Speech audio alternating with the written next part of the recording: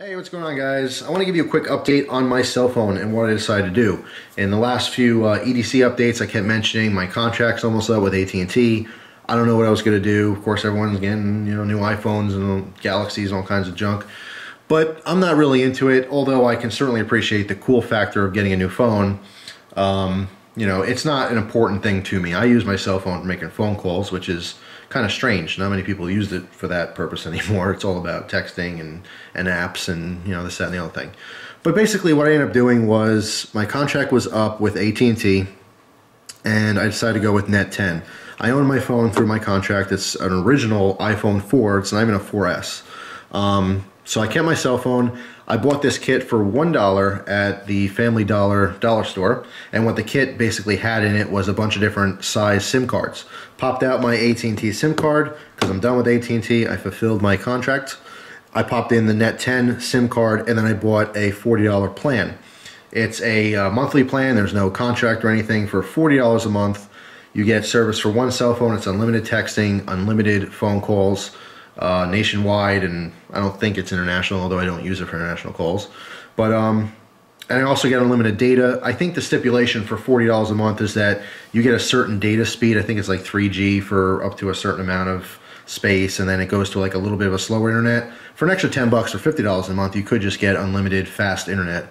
But um, you know, it doesn't really matter because most of the time when I'm using the internet on my phone, which is not very often, I'm in a Wi-Fi uh, section or zone anyway, so I'm never really using that service.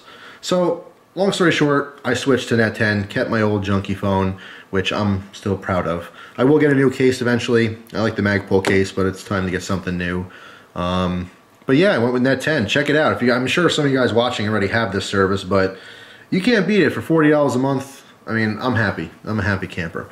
So that is the update to my phone. There is no new iPhone 6 in my future or iPhone 5 or or anything. Uh, I'm happy with my old school dinosaur right here. That's right. Kids will laugh at me for having an iPhone 4. But I don't care. Um, it works. And like I said, I use my cell phone for phone calls, which is crazy. I know. Who does that, right?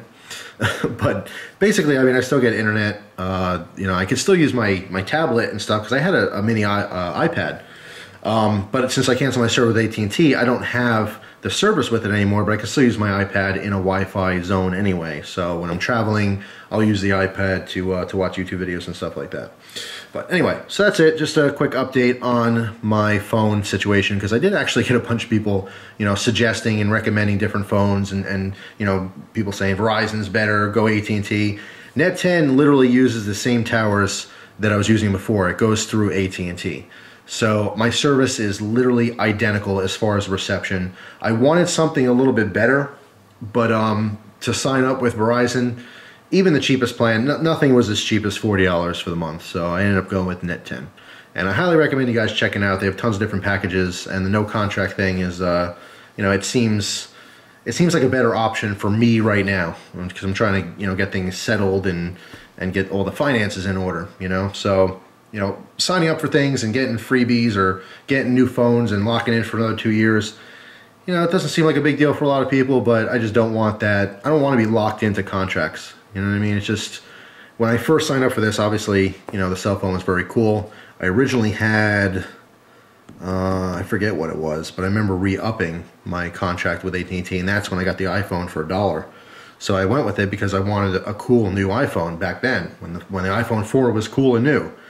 But you know, now I just I kind of got tired of the whole you know keep up with the Joneses with the cell phones. Who cares? I mean, whatever. so there you go. For anyone who's interested, that's my new phone deal. Um, stay tuned though because I will have another EDC update probably before November's over, uh, just because things have changed so much. But uh, yeah, till then, some more videos. Thanks for watching. Hope you guys have an awesome day, and I'll see you soon. Take care.